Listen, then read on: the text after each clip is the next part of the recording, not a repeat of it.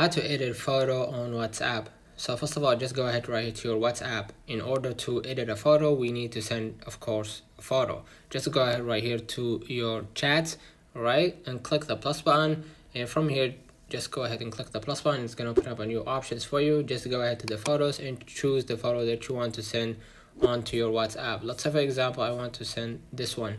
All right. So as you can see right here, you're gonna see a pencil at the top right if you want to add like a drawing or something like that if you don't just hit done right here. And if you want to add a text to your uh, photo and change the font you can always uh, do that.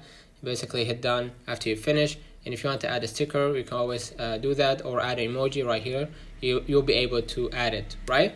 And if you want to change the photo shape right you can change it you know to the right to the left or something like that. And after you finish just hit done okay? And if you want to add a caption just go ahead and add a caption. If you want to add more than one photo just go ahead and do that. After you you know forwarded uh, your own photo after you edit it and everything now we want to let's have an example you want to edit a photo that you already sent to your friend right?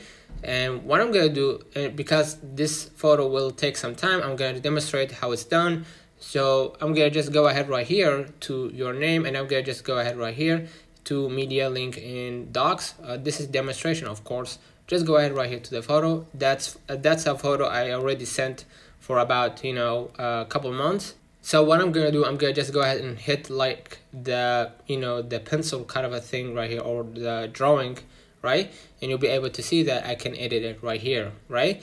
And if you don't want to just hit done right here. Basically it's gonna open up the same settings that you while you are sending the photo you'll be able to get back to the same settings. If you want to add the text you can always do that. If you want uh, to add a sticker or emoji just go ahead and do that. And if you want to change the size or if you want it to be right or left okay or you know if you want it to be vertical or horizontal you can always do that. Just hit done after you finish and just hit the check mark right here. If you want to add a caption just go ahead and add a caption. Basically you'll be able to edit the photo even though you sent it like a couple months ago right? Me know in the comments. If this video helped you don't forget to like and subscribe. Turn on the notification bell to receive every video we upload. Thank you for watching. See you in the next one